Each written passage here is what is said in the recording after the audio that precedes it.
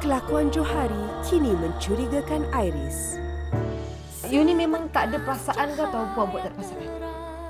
Dan kerja terkutuk Johari sudah terbongkar. Adik kamu tu dah terkena, Zan. Iris lebih penting. Awak selamatkan Iris, ya? Dia gunakan ilmu hitam. Adakah cara nak pulihkan ilmu hitam ni? Dalam Cinta Iris, Jumaat ini, 8.30 malam, di Ratu TV 9.